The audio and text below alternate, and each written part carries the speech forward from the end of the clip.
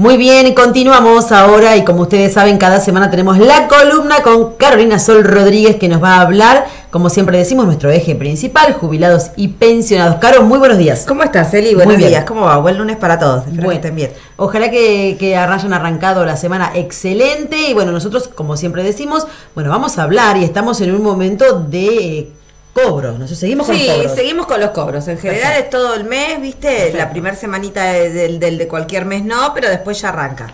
Bueno, terminamos la semana pasada con el calendario de pagos de jubilados de la mínima, que como siempre decimos son más del 80% de los jubilados de nuestra ciudad y en general siempre es así. Ahora arranca en la otra porción de jubilados que por supuesto lo esperan muchísimo también y no tenemos que descuidarlos porque no son jubilados millonarios. Totalmente. ¿no? Que siempre también decimos, porque parece que a veces uno habla tanto de la mínima que parece que el resto, y no, la realidad es que pasándose un poco de la mínima, ya tengan en cuenta que eh, ya no, no, cobran en los primeros días y si así todo están, no tengo dudas, esperando el inicio de esta semana, ¿no? Porque aparte a veces es difícil cobrar casi a fin de mes y no cobrar los primeros días si bien uno hace como la ruedita, bueno, no, es lo mismo, no es lo mismo, en general siempre hay como una, una cuestión de que sienten, aunque sea eh, que, se les hace un poco más, más largo.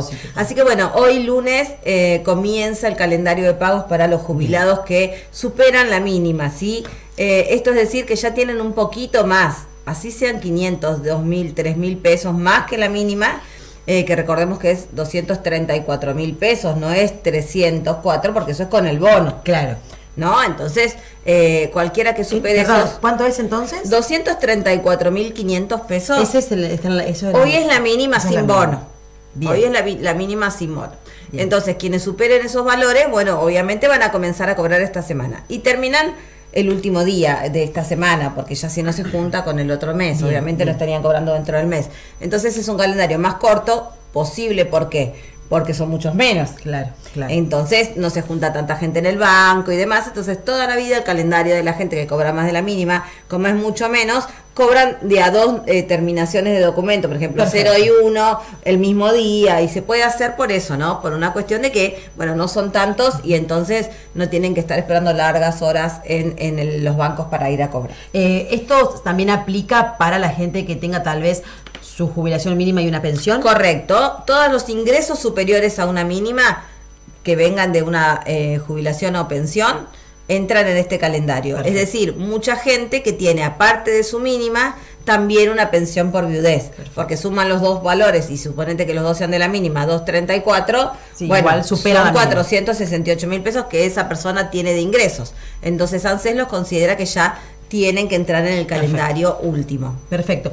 Bueno, con respecto a esto de los cobros, Caro, hubo cambios porque hay que explicar, tal vez para el que no sepa, que en algunos lugares, sobre todo en las localidades, eh, cobran por correo. ¿Qué pasó con eso? Claro, todos hablamos siempre mucho acá que la mayoría de la gente obviamente cobra en un banco. Claro, hay varios bancos, los jubilados pueden elegir en cuáles, pero bueno, sí se da, y es lógico, en muchas localidades, en este caso nosotros tenemos localidades rurales en, nuestra, en nuestro partido, que no tienen siquiera una eh, en su pueblo ni siquiera un cajero automático. Porque por ejemplo nosotros tenemos la suerte no sé si la suerte sino la gestión en su momento también eh, que se hizo para que eh, haya un cajero del banco en Inesindar por ejemplo. Entonces mucha gente sigue bancarizándose porque igual puede ir al cajero de Inesindar y sacar el dinero. ¿sí? Eh, pero, por ejemplo, una particularidad que tiene una de nuestras eh, localidades muy importantes del partido de Salto, que es Arroyo Dulce, no tiene eh, cajero automático. Y parece extraño porque Arroyo Dulce es más grande que el resto de las localidades. Bueno, la verdad es que se intentó hacer una gestión y es algo que hay que seguir haciendo para que exista un, un, cajero ahí. Obviamente a veces los bancos te dicen no me conviene porque esa vamos a ser sinceros, lo que hablamos siempre acá y somos muy sinceros, los bancos hacen negocio. Entonces, para ellos movilizar un camión de caudales para estar llenando todo el tiempo ese cajero automático con dinero, hacen una ecuación económica tan de moda hoy en día que eso parece que fuera todo lo que importa. Y entonces eh, no ponen cajero automático. Claro. ¿no? No, conviene, listo, no va. No conviene, no va. No importa que sea un beneficio. Y lo puedo decir porque he intentado esa gestión durante mucho tiempo con muchos bancos.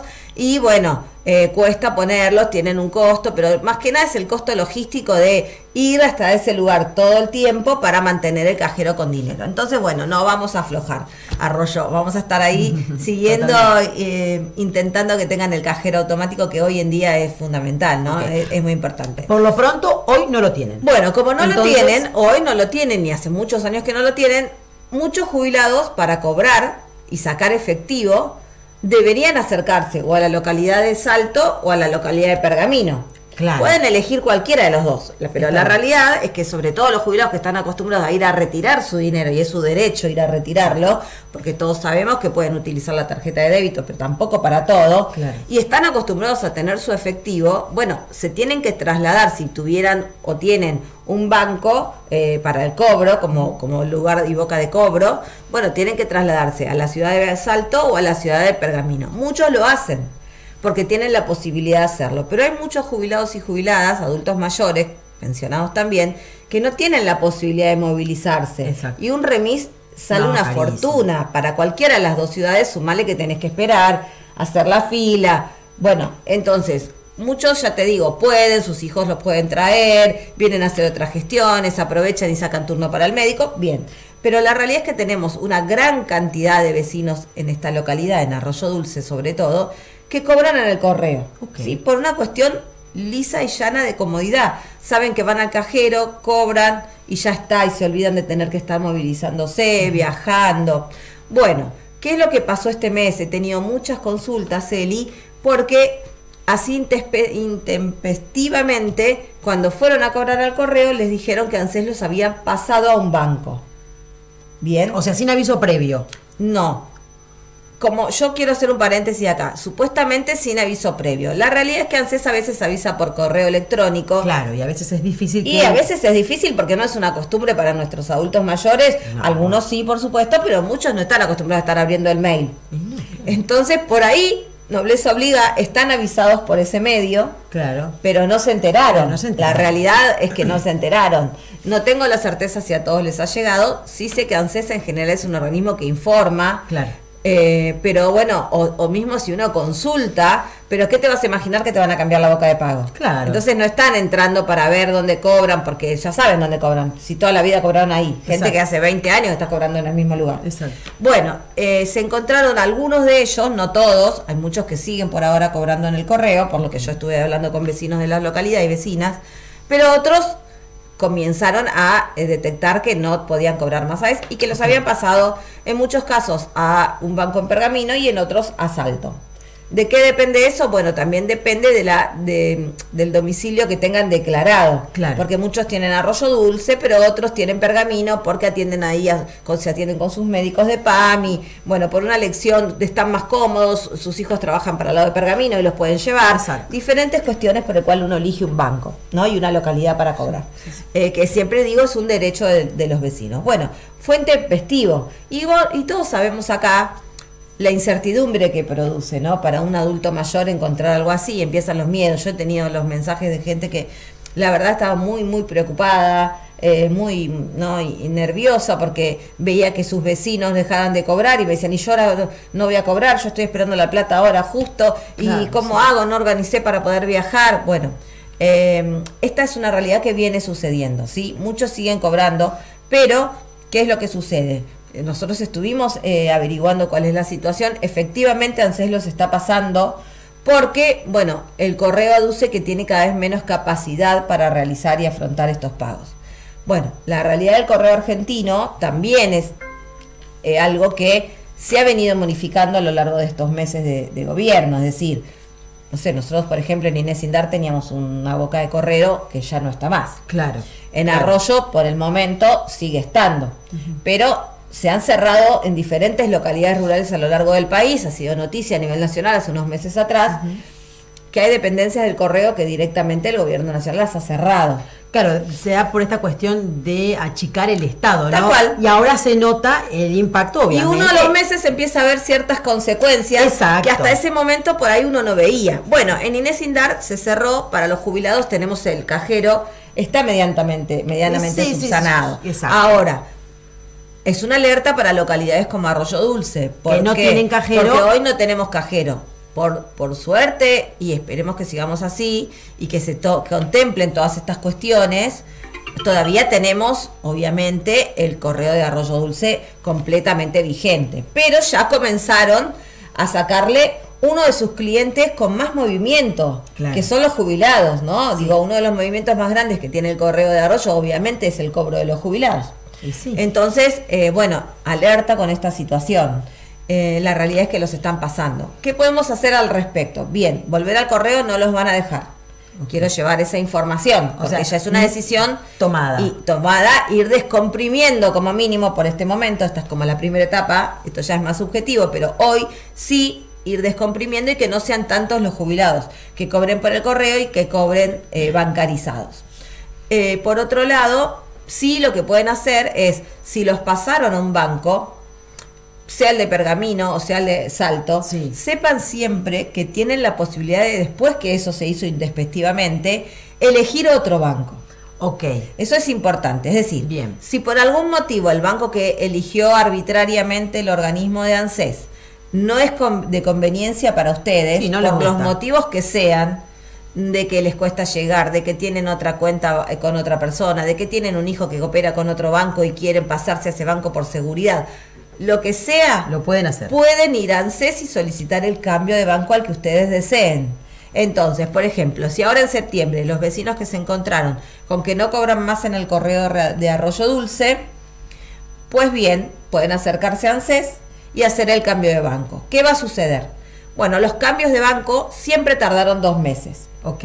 Eso quiere decir que este mes, si se encuentran en un banco, sí o sí vayan a ese banco a cobrar el que les haya dado ANSES. Claro. ¿Por qué? Porque la plata va a estar ahí y no hay forma, aunque ustedes pidan el cambio, que se haga el mismo mes que están cobrando. Bien. Es decir, que si septiembre están cobrando en un banco, porque lo sacaron del correo, tienen que cobrar septiembre en ese banco. Y si hacen el cambio en, en, septiembre, octubre también en el banco que les pusieron. Bien. Porque el cambio tarda dos meses. Recién en noviembre, las personas que hagan una opción de cambio de banco en el mes este, que estamos en curso, nos quedan poquitos días. Sí. Recién en noviembre van a poder cobrar el banco que elijan. En ningún caso, por hacer un cambio de banco, queda algún mes sin cobrar. Que esta es una consulta que muchas veces me hacen, ¿no? Claro. A ver si después me pagan todo junto y yo pierdo un mes porque hice un cambio. No. No. Todos los meses ustedes van a cobrar su jubilación o su pensión como corresponda. La única diferencia es que el, este mes en curso lo van a cobrar donde ANSES los haya determinado, donde se los haya puesto, el mes que viene en octubre lo mismo y recién en noviembre van a tener el dinero en el banco que hayan cambiado, ¿sí?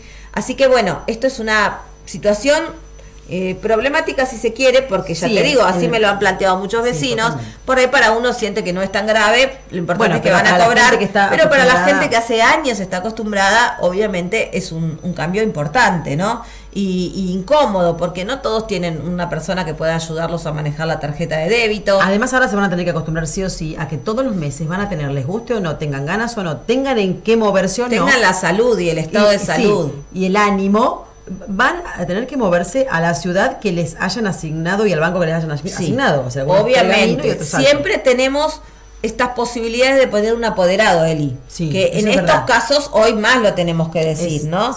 ¿Por qué? Porque obviamente eh, vos necesitas tener esa posibilidad, qué sé yo, yo siempre hablaba con los adultos mayores y me decían, no quiero salir en invierno esos días de frío, que lluvia, que no me quiero enfermar, porque si me enfermo a mí me cuesta mucho más recuperar después esa salud, ¿no? Como te pasa a vos, me cargaban, ¿no?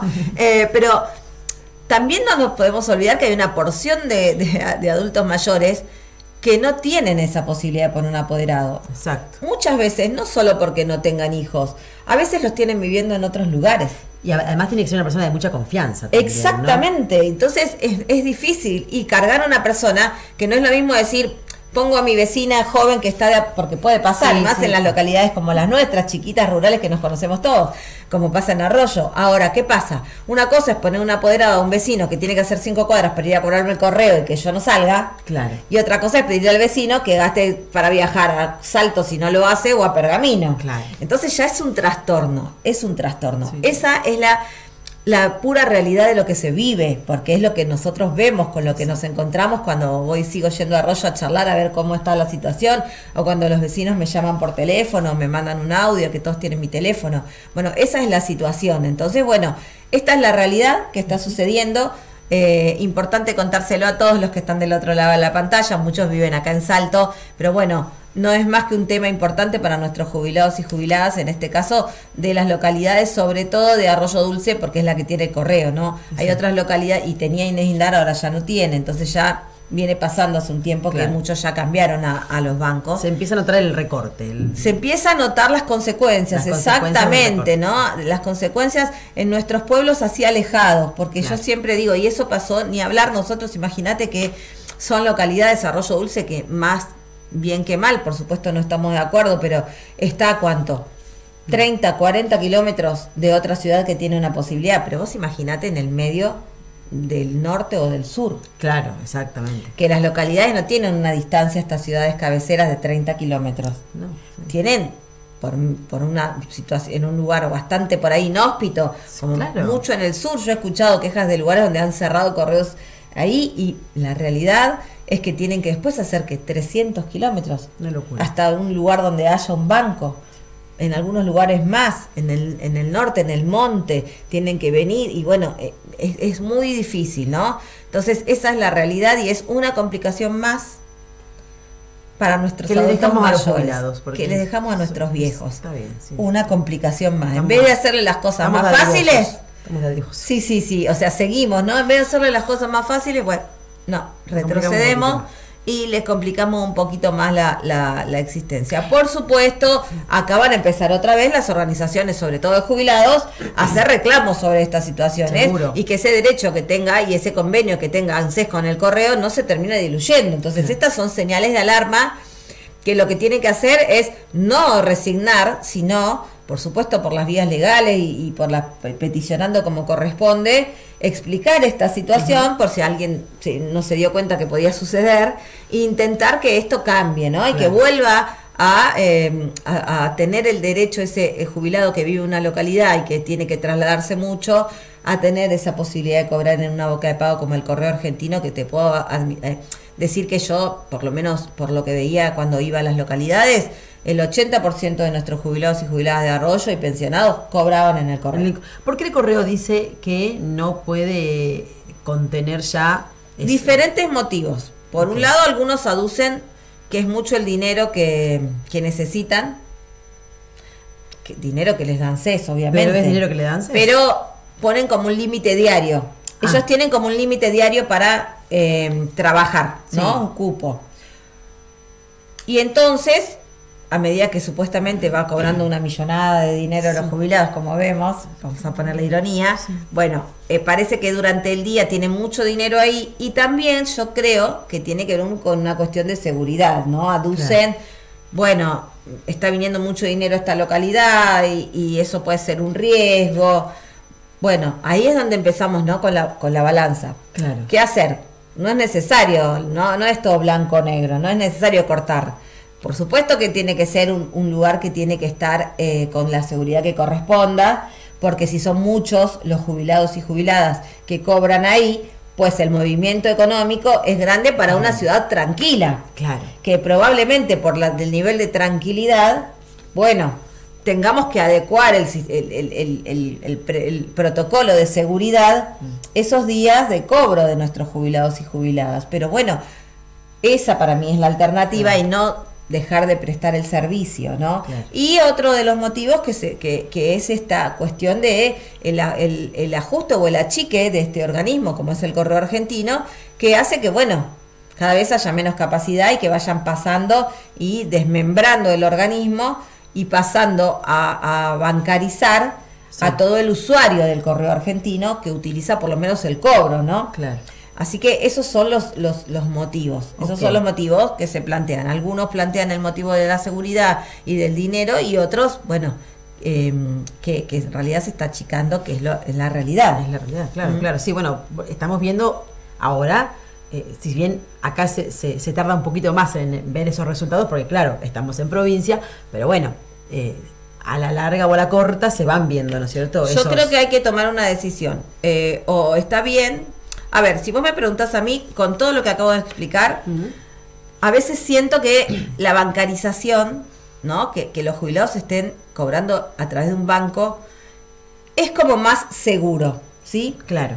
Porque, bueno, a veces se dice que en la confianza, en los correos, eh, es más difícil detectar quién fue a cobrar, porque, viste, yo, el correo te puede decir, sí, viniste vos a cobrar y en realidad se ha detectado, no pasó acá en Salto, en ningún correo de Salto, ni en Arroyo, en ningún lado, pero en otras provincias, en otras ciudades, había ahí como una connivencia entre las personas del correo que los adultos mayores a veces no cobraban, o cobraban menos, o le daban menos y otra, bueno.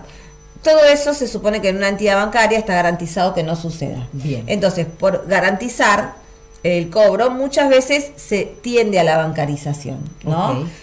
Se intenta que eso se considera que es jurídicamente más seguro. Sí, sí, sí.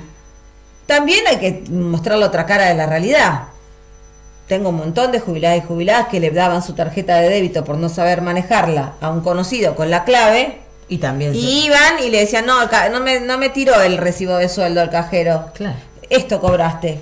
Sí, siempre hay. Venían a y se daban cuenta después de meses que en realidad su jubilación era otra cuando se, se sentaban a hablar con nosotros. Claro, claro, sí, sí, sí. Se sentaban a hablar con nosotros y ahí detectaban que no estaban cobrando lo que el papelito que me traían escrito a mano le había dado la persona que de favor le había ido a cobrar porque ya o él no podían salir. Claro.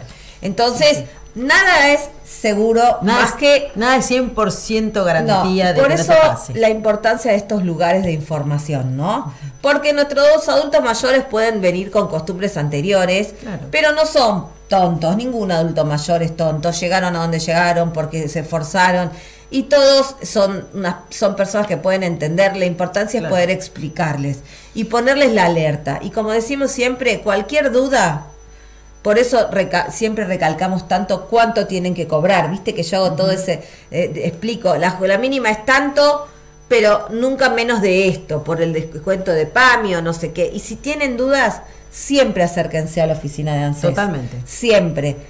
No, no, no se trata de desconfiar de nadie, se trata de su derecho de saber si están cobrando bien, si les descuentan algo que no corresponde, si le hicieron un descuento y no se acuerdan por qué, que alguien se los explique las veces que sea necesario. Exacto. Ustedes tienen ese derecho porque cobran una jubilación que bastante mala es muchas veces, que lo venimos diciendo siempre, como para que encima tengan dudas de si están cobrando lo que corresponde o no. Exacto. Entonces no tengas dudas, por supuesto acá también desde el bloque abierto, los canales totalmente. siempre, ni hablar mi, mi celular, mis redes, pero también el canal tiene a disposición y han llamado muchos vecinos para hacernos consultas, no tengan dudas de eso, pero siempre el organismo. Van ahí y ahí no les van a mentir, no les van a mentir. Están los chicos, las chicas, todos trabajando ahí en la oficina y les van a dar la respuesta que corresponde acá en nuestra ciudad. El bono sigue siendo el mismo. El bono sigue siendo Sí. el mismo. No tenemos todavía información de eh, el mes que viene, de octubre. Ya probablemente, obviamente, para el lunes que viene, Sí, sí, sí. vamos a tener cuál es el aumento, cuál es el valor de la jubilación. eh, pero bueno, esa es un poco la, la situación in- puntual de una localidad nuestra, pero no quería dejar de hablar de mis queridos vecinos y adultos mayores de Arroyo, a los que le tengo un afecto muy importante y eh, no por no estar en la ciudad cabecera no los vamos a atender y a, Exacto, y a- no, y a para darles información, todo Exacto. lo contrario. Caro, ¿qué pasa con los medicamentos? Bueno, lo mismo, noticia tras noticia, Sí. inquietudes tan, eh, diarias que tenemos y recibimos de nuestros adultos mayores, porque comenzó a ponerse en vigencia, se nota más ahora esa resolución que sacó PAMI de, eh, en agosto, precisamente el 22 de agosto, donde cambiaban ciertos requisitos para eh, la cobertura del 100% de los medicamentos y restringían algunos medicamentos de los que nosotros ya hemos hablado acá, Claro. ¿no? Pues bien, la gente comenzó a tener que ir a renovar sus medicamentos y ahora son estos días donde las consultas son mayores porque se encuentran con que hay medicamentos que les cubrían al 100% hasta la última vez que los compraron y ahora no. Exacto. La verdad que las consultas son cada vez mayores, con lo cual esos medicamentos que han sacado o los requisitos que han cambiado le influyen mucho a los jubilados y jubiladas. Sí, claro, obvio. No, bueno, uno de los requisitos para poner en claro es si cobras más de una mínima y media, no tenés eh, posibilidad de tener eh, eh, cobertura al 100% de más de 5 medicamentos que ya están establecidos. Esto quiere decir, hay 5 medicamentos de enfermedades crónicas, Sí. no 5, quiero decir, hasta 5 una persona toma medicamentos por enfermedades crónicas, diabetes, Sí. hipertensión, artrosis, ciertos medicamentos clásicos de enfermedades de la vejez, si Sí, se sí. quiere, ¿no? Bueno, esos están cubiertos. Cinco les tienen que dar mientras estén dentro de los de enfermedades crónicas. Eso no cambió, quédense tranquilos. Bien. ¿Qué pasa? Muchos tomaban otros que pedían un trámite de excepción para que también sean al 100% porque eran necesarios, demostrado médicamente, que ni siquiera no eran preventivos, eran necesarios para su salud. Y entonces aquellos jubilados que tenían mm, inclusive hasta dos mínimas, es decir, una pensión y una jubilación tal vez, Sí. si hacían el trámite y se demostraba que no tenían otros ingresos, pues les daban los medicamentos gratis aparte de esos cinco. Claro. Hay mucha gente que toma más de cinco adultos mayores, no muchísimo. No, uno parece desde este lado cuando es joven que eso es un montón. Que cinco es mucho, no, pero en verdad que no. Claro. Para un adulto mayor no. Entonces, ¿qué pasa? Se encontraron con que esos medicamentos por fuera de los cinco de enfermedades crónicas ya no les cubrían este mes al 100%. Y en general no son medicamentos baratos. Entonces, ¿qué pasa? Muchos consultaron, yo cobro un poquito más de la mínima o tengo la mínima, como hablamos siempre, pensión y jubilación. No, porque este tope que pusieron de una jubilación y media es incluyendo todos los ingresos. Claro. Entonces, en la jubilada o el jubilado que tiene una pensión y una jubilación, es decir, 460 mil pesos, no tiene más al 100% el medicamento. Pero por eso un medicamento de 100 mil pesos, 150 mil pesos. A una jubilación de ese valor, obviamente que siguen sin llegar, pagando la luz, el gas, lo que hablamos siempre acá, ¿no? Otra cosa es que nosotros no nos tenemos que olvidar que la jubilación mínima es 234, no 300, porque el bono no se cuenta. Claro. ¿Eso qué quiere decir? Que Y una se persona... Y la ley se vetó, así que. Y sí, la ley se vetó, o sea que, que- sigue siendo 234. Sigue siendo eso, 234 más la mitad de 234, que son 115 mil pesos para hacerlo redondo, cualquier persona que gane un poquito más que 350 mil pesos, ya esos medicamentos no los va a tener gratis. Claro. Y es un monto, volvemos a lo mismo, 350 mil pesos. Sí. No estamos hablando de personas que cobran un millón de pesos. Claro. Y, se les saca les- medicamentos que vienen tomando para su salud, el- en la cobertura del 100%, se les da una cobertura menor, muy menor. Eso iba a preguntar. Claro. No es que no tienen cobertura, pero lo que me lo que me vienen diciendo los vecinos es que no le garantizan ni siquiera una cobertura del 80 o del 70%, sino del 40. El 40, había escuchado Y- yo algo así. del 40 y cuando tienen que comprar ese 60% restante implica 80 mil pesos de un medicamento Claro, es una locura. más todos los otros que ya tenían con copago porque no les entraba, porque a veces les entran algunos y otros no. Entonces tienen que disponer por ahí de 100 mil 100 mil pesos. Sí. Entonces ya cobran 250. Menos en mano, si se quiere, que el que tiene el bono. No, es una locura. Entonces hay mucha, mucha angustia, mucho eh, eh, nerviosismo por esa situación que otra vez, y volvemos, es otra carga más para los jubilados, ¿no? Nosotros hacemos mucho hincapié en lo de la ley, pero hay muchas formas de restringir eh, el poder adquisitivo y la tranquilidad de nuestros adultos mayores. Esta es una. La política de salud en términos es una. Esto que hablamos de, de que tengan que movilizarse y tomarse un remis y, y- y arriesgarse a enfermarse y tener que tomar más medicamentos. Todo va en detrimento de nuestros adultos mayores, Eli. Todo, todo, todo. Entonces, bueno, em, son esas cosas que em, hay que poner el alerta, estar muy cerca de nuestros adultos mayores, eh, dentro del lugar que nos cabe a cada uno, poder, poder defenderlos. Eh, la semana pasada, el viernes pasado, fue el Día del Jubilado y la Jubilada, Mirá. así que quiero aprovechar, obviamente, por, para saludarlos, a Sí, muchos los, los he saludado y, y por- los he- hemos hablado por, por teléfono con muchísimos vecinos de Salto a los que tengo y les dediqué un minuto y también en mis redes, pero no quiero dejar de, de volver a decir lo mismo que, que les decía, ¿no? Bueno, feliz día, aunque no estén pasando un buen momento y las noticias que en general tengamos que dar no sean tan alentadoras y sepa que, bueno, hay muchos jóvenes como él y como yo que estamos acá y dentro de lo que podemos tratamos de poner un, un granito de arena para concientizar no solo a ustedes que están conscientes porque lo viven, eh, sino el resto de la población que a veces estamos inmersos en, nuestros problemas y vemos poco a nuestros adultos mayores, ¿no? Porque todos tenemos problemas. adormecidos, diría yo, me parece. Sí. Entonces creo que también buscamos generar esa conciencia, esa empatía, eh, para lo más importante que tenemos que son nuestros adultos mayores, nuestros viejos, como les decimos cariñosamente, que nos enseñaron todo lo que somos. Yo digo que eh, nuestros adultos mayores de nuestra familia eh, nos dieron todo lo que tenemos. ¿no? Sin ellos no seríamos no seríamos nada, nada. y nos enseñaron el valor del trabajo, el respeto, ¿no? Porque se habla mucho esto de cuestionar la moratoria, que no me voy a cansar de decirlo acá, y lo estamos cuestionando a quienes nos enseñaron todo. Eh, y a los que nos enseñaron, creo, esos valores que nos van a sacar adelante en un futuro y que muchos de nosotros vamos a poder transmitirle a nuestros hijos gracias a esas enseñanzas. Entonces, también intentamos de acá eh, acompañarlos. Eh, reitero, el, viernes fue el día de ustedes, sepan que hay muchos que mm, hemos aprendido, ¿no? Yo me siento una privilegiada porque he aprendido agradezco eh, mi paso por ANSES porque me ha hecho mejor persona, siempre lo digo, porque siempre respeté a mis adultos mayores, pero verlos a ellos todos los días eh, me ha demostrado una realidad que dije, no, hay que acompañarlos, ¿viste? Uno siempre está en la gente más vulnerable, en los niños. Sí, sí, sí.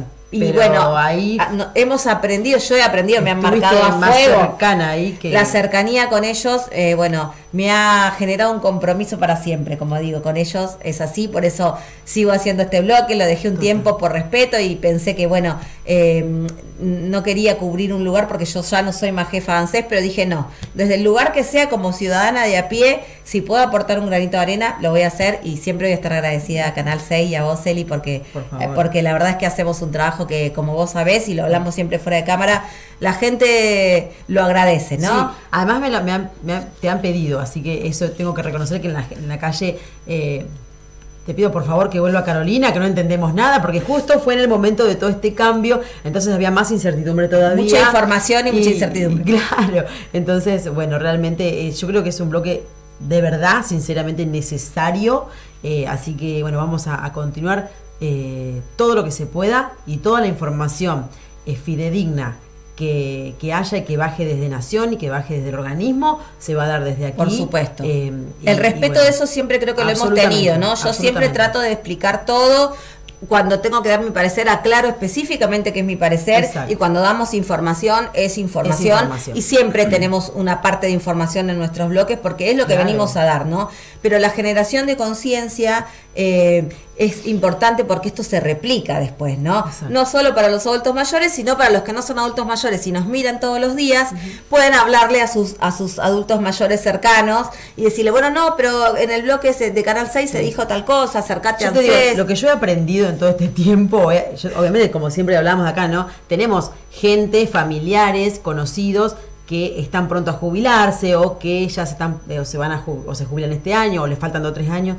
Lo que hemos aprendido y lo que he podido explicar eh, a la gente cercana, querida y familia eh, que está en esa situación algunas dudas que se les que se les aparecen, ¿no? Porque claro, están en un momento donde están por jubilarse, eh, lo que he podido explicar porque lo he aprendido desde este bloque, lo agradezco muchísimo. Así que bueno, vamos a continuar con este bloque porque ¿Cómo no? ¿Cómo no? Porque es así y, como decís vos, lo mismo que te pasa a vos y que me pasa a mí porque me, me ayorno todos los días para tener información, eh, porque alguna vez empecé como, como vos también sin saber. Claro, eh, eso se replica del otro lado. Y creo que ese es el, el, el mensaje que nosotros venimos a dar acá y la importancia de este bloque. Y o algo dijiste interesante que es esta conciencia, esta conciencia social que hay que tener sobre este grupo. En este caso estamos hablando de jubilados y pensionados que siempre nos mantenemos en este eje. Pero, pero bueno, hay que tener esa conciencia también en todos los ámbitos, así que es fundamental. Eh, Caro, por lo pronto, la gente va a cobrar, entonces va a continuar con su calendario de pago, lo que le toca ya eh, finalizando el mes. Eh, el bono sigue siendo el mismo, no, hubo cambios. Y bueno, lamentablemente tenemos que decirle que con los medicamentos se van a encontrar que algunos los van a tener que, pagar eh, y lamentablemente en un alto porcentaje. Sí, exactamente. Bueno, y el cambio que tienen de cobro en la localidad de Arroyo Dulce, no se olviden, no se asusten, van a tener que adaptarse a esta nueva norma. No se asusten, exactamente. El cobro lo van a tener, no se asusten. ¿eh? Cualquier cosa, se acercan a la oficina, sé que les cuesta porque todavía no están yendo a las localidades Eh, esperemos que pronto puedan ir. Por el Ah, eso te no porque vos ibas, ¿no es cierto? Cuando estabas Claro. de ANSES, te trasladabas a las Sí, localidades. sí, sí, sí. Y, y debo admitir que la gestión anterior, Sí. a mí, también se acercaba a Claro. ANSES, ¿no? Bueno, también es entendible porque eh, hace poco que nombraron un, un Sí, sí, jefe sí, obvio, titular, entonces se es probable que en los siguientes meses ANSES de, Salto vaya a las localidades, esperemos que sea así, porque otra cosa que me dicen es no me puedo acercar hasta allá Claro, a hacer las claro. consultas, me decían los vecinos de Arroyo Dulce, eh, ¿dónde llamo y no me pueden atender? No, porque las oficinas de ANSES no tienen telefonista, ninguna. Claro. ¿no? Entonces es difícil porque en el horario que están trabajando están con el público y atender el teléfono a veces es complejo. Por eso siempre les digo, el número oficial de ANSES es el 130. Bien. Ese es el número general. Pueden hacer consultas ahí, encima tiene horario extendido, desde las 8 de la mañana hasta las 8 de la noche. Bien. Entonces pueden hacer consultas por ahí, tengan un poquito de paciencia porque es un número para todo el país. Claro, Pero claro. ese es, ese es el número de atención telefónica. Las oficinas no cuentan con telefonistas, no lo contaban en mi época, No, ni no, en no, la anterior. ¿no? En las gestiones anteriores. No hay. Hay un teléfono, pero la realidad es que más para que nosotros podamos llamar y contactarnos, o nosotros digo yo, eh, ahora Ella- los ella arraigada, ANSES. sigo arraigada.